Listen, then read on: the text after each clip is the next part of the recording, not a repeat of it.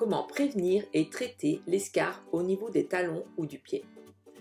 Bienvenue dans ce tutoriel dédié à la prévention des escarres talonnières, un problème fréquent chez les personnes à mobilité réduite. Nous le savons maintenant, une escarre se forme lors d'une pression prolongée sur une zone du corps qui comprime les tissus mous, peau, graisse sous-cutanée ou muscles. Vous pouvez revoir la vidéo qui explique ce qu'est une escarre et comment la prévenir de façon générale. Lien sous la vidéo. Bonjour, Karine Dubreuil, ergothérapeute. Aujourd'hui, avec l'expertise de Karine Dubreuil, ergothérapeute, nous allons explorer des méthodes efficaces et pratiques pour protéger les talons et les chevilles qui font partie des zones les plus touchées par l'escarre, souvent provoquées par un alitement prolongé et un manque de mobilité. La peau étant fine à ces endroits, l'os est en appui constant sur le matelas ou dans la chaussure. Dans cette vidéo, nous vous montrons comment déterminer le type de matériel dont vous avez besoin. Nous vous montrons comment utiliser le matériel mis en place et comment procéder à des positionnements pertinents pour prévenir ce type d'escarre. Dans cette première partie, Karine Dubreuil nous montre comment l'utilisation appropriée d'un matelas adapté peut jouer un rôle clé dans la prévention des escarres au niveau des talons ou du pied. Lorsqu'on a une escarre talonnière, on va essayer au maximum de mettre cette zone en décharge. Alors on va opter pour un matelas air dans un premier temps, mais si effectivement euh, l'escarre talonnière continue de progresser dans le mauvais sens, on va devoir mettre en décharge totale.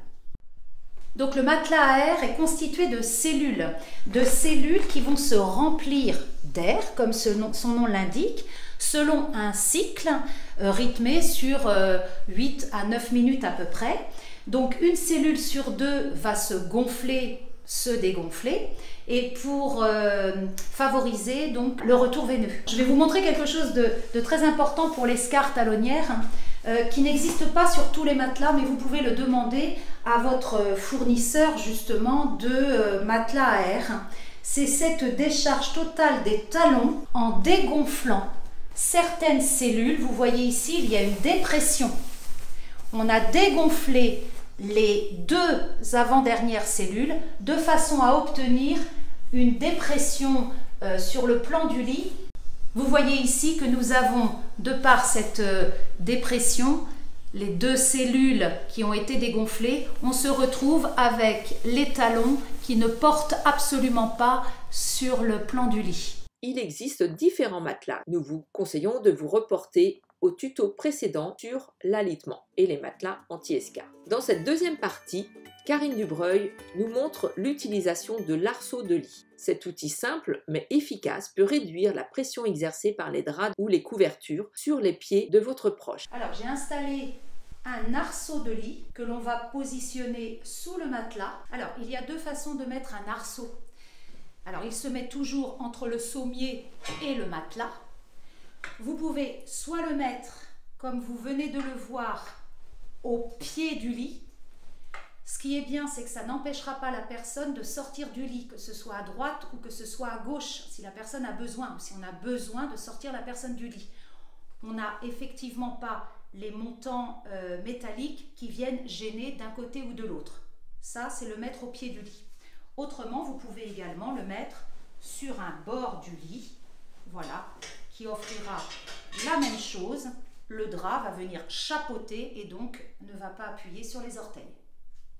Donc je vais du coup mettre le drap et vous le voyez, le drap ne va pas du tout toucher le pied, qui va nous permettre de ne pas avoir le poids des couvertures ou le poids des draps sur les orteils, sur le pied en général.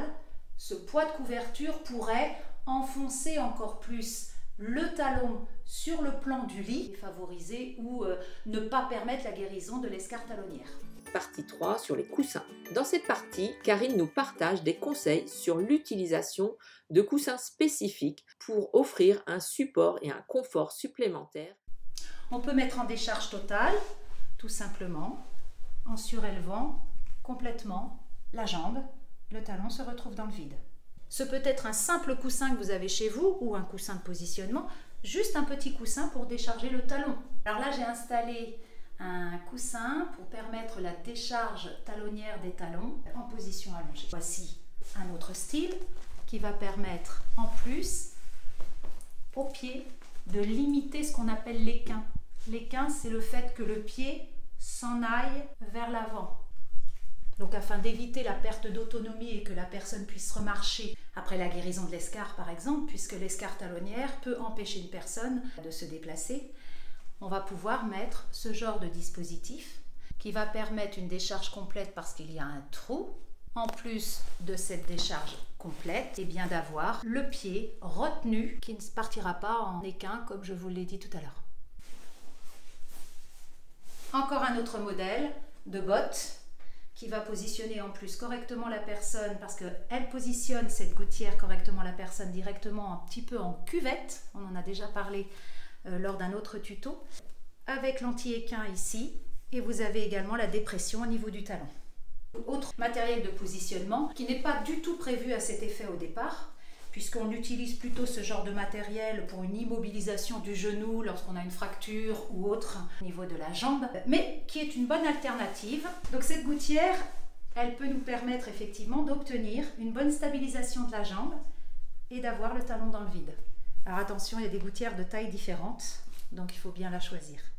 Ici, nous avons un coussin qui va permettre une décharge talonnière, mais dans un cadre bien particulier. Cette personne a une rétraction au niveau des jambes. Ici, nous avons une personne qui a des jambes rétractées. Elle ne peut plus étendre ses jambes dans le lit. Et vous voyez bien qu'il y a un hyper-appui au niveau des talons. Alors, comment faire pour corriger ça? Eh bien, tout simplement, on va suivre la rétraction au maximum ce genre de coussin va nous permettre de suivre cette rétraction et d'obtenir une décharge totale des talons. Partie 4 sur les chaussettes et les chaussures pour prévenir les escarres. Et Karine nous montre les types de chaussettes et de chaussures à privilégier et comment les utiliser correctement. Pour une prévention totale, c'est-à-dire la personne se plaint qu'elle a mal au talon, on va pouvoir utiliser ceci. Des petites peaux de mouton, par exemple, que l'on va pouvoir installer de cette façon-là. La vraie peau de mouton, la peau de mouton naturelle, plus efficace que le synthétique, va permettre, eh bien, de par cette petite laine là enchevêtrée, eh bien, d'avoir une décharge du talon et euh, d'avoir un contact doux avec la peau. Nous avons, comme autre système, ce genre de choses. Alors ça se décline vraiment euh, de toutes les façons. Vous voyez qu'ici, systématiquement, il y a un creux et donc le talon va se retrouver légèrement dans une dépression. L'appui va être moins important que sur le matelas euh, d'origine. Lorsqu'on est en présence d'une personne qui bouge beaucoup dans son lit, tous les dispositifs dont je vous ai parlé tout à l'heure vont peut-être pas être appropriés. En plus, s'il y a des troubles cognitifs, euh, la personne ne va pas comprendre qu'il ne faut pas qu'elle bouge et donc on va utiliser d'autres matériels. Alors par exemple ici vous avez ce qu'on appelle la chaussette tuane. Donc la chaussette, là la chaussette n'est pas adaptée à la taille de la personne, bien évidemment. Il y a des tailles hein, en fonction de la grosseur de la jambe. Donc cette chaussette qui va évidemment venir bien adhérer à la jambe comme ceci, va permettre à la personne de bouger dans son lit sans que le dispositif de décharge talonnière bien s'en aille. Ce dispositif vous permet également au talon d'être dans une dépression. Va permettre également que le pied ne parte pas en flexion plantaire et va également suivre la personne lorsque la personne va bouger dans son lit. Celui-ci peut tout à fait être utilisé en position assise sur un fauteuil roulant. Lorsque nous avons le talon qui a un hyper appui euh, sur la palette du fauteuil, sur le repose-pied du fauteuil, on peut utiliser ce dispositif qui va momentanément permettre de soulager le talon. Il n'y a pas qu'au lit que l'escarre talonnière peut être présente au niveau du talon. Un appui trop important dans vos chaussures peut également favoriser une escarre. Il existe des chaussures sans couture à l'intérieur qui vont permettre de ne pas être agressif pour le pied. Le matériel utilisé. Vous pourrez vous procurer ce matériel chez un revendeur de matériel médical, spécialiste dans ce domaine, dans votre pharmacie ou sur Internet. Certains matériels peuvent être loués ou achetés et remboursés tout ou partie par la caisse de sécurité sociale et ou votre mutuelle sur prescription médicale. Partie 5. L'effleurage du talon. L'effleurage des points d'appui favorise la micro-circulation cutanée et peut prévenir les escarres. Il s'effectue à main nue à l'aide de la paume et des doigts à plat. L'effleurage s'effectue dans l'idéal 4 à 6 fois par jour pendant 1 à 2 minutes sur les zones à risque comme le talon. Important, l'effleurage est contre-indiqué sur les zones lésées, inflammatoires ou présentant des rougeurs. Alors cet effleurement doit être quelque chose de très léger, très doux. On n'appuie pas sur la peau et on va juste avec un produit de massage en fait légèrement effleurer le talon. Pour conclure, rappelons-nous l'importance de la prévention dans la gestion des escarres talonnières et au niveau du pied. Les méthodes présentées par Karine Dubreuil, allant de l'utilisation du matelas spécialisé à des accessoires comme des chaussettes, des chaussures adaptées ou des coussins, proposent des solutions pratiques pour réduire significativement le risque de ces lésions. Nous espérons que ces conseils vous sont utiles pour prendre soin de votre proche avec efficacité et compassion. À bientôt!